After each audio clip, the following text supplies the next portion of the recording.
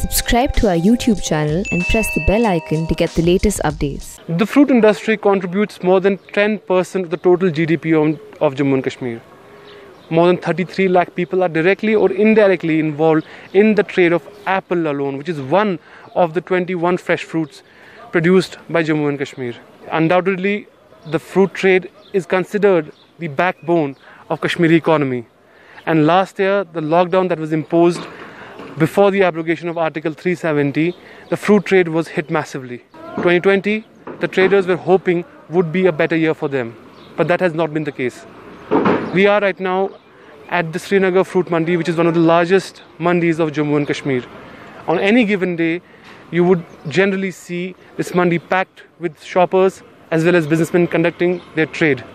In fact, with just two days remaining for the Eid, there would have been massive crowds right here where we are standing. That has not been the case. अल्लाह को पता नहीं क्या मंजूर था तो ये corona virus जो बीमारी फैली, उसकी वजह से जो हमारा सारा से स्टोरों में माल था, उसकी जो कीमत अभी आ रही है बाहर के मंडियों से, फोर्टी परसेंट जो जो मतलब फोर्टी परसेंट ही आ रहा है समझे उसमें उतनी भी हमें कीमत मिल रही है जो उसका स्टोर का किराया है उसकी वजह वजूहत बहुत सारी है। एक वजूहत कुछ वजूहत इस तरह है कि वहाँ की मंडियाँ बंद हैं।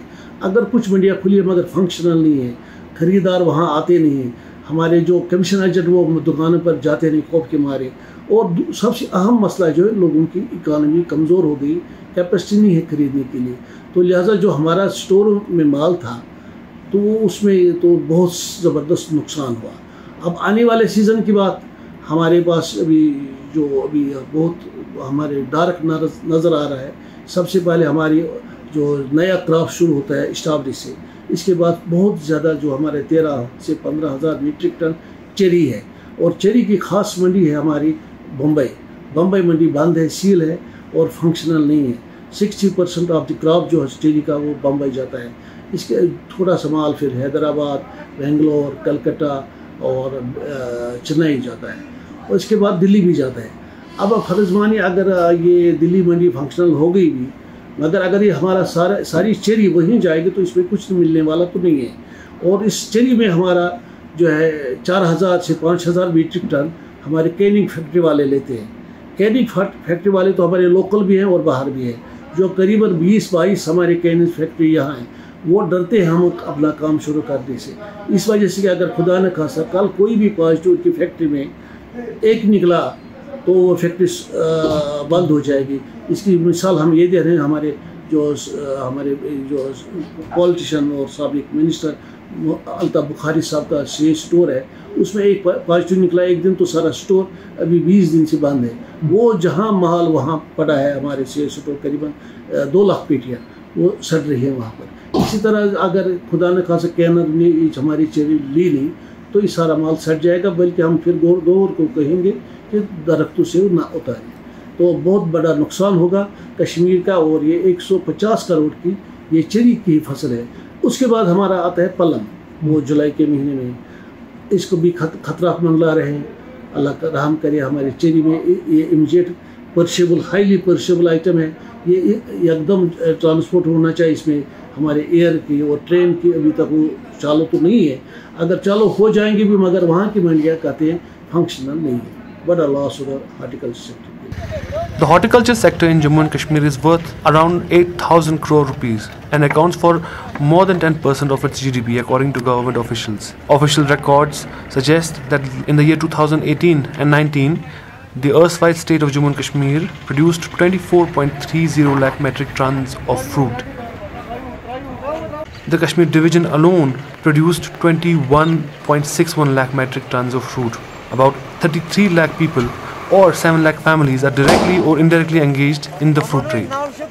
आज के तारीख में हमारे पास स्ट्रॉबेरी आ रही है आज के डेट में जो ये और चरी भी शुरू हो गई दोनों चीज़ों में हम आपको ये बताएँगे कि पिछले साल से स्ट्रॉबेरी में आधा पैसा आ रहा है अल्लाह का शुक्र है तो भी आधा पैसा हमें इस टाइम इसका मिल रहा है। क्योंकि ये हमारे लोकल में ही यहाँ बिकती है बाहर तो ये जाती नहीं ये श्रीनगर के आगे ये जाती नहीं है।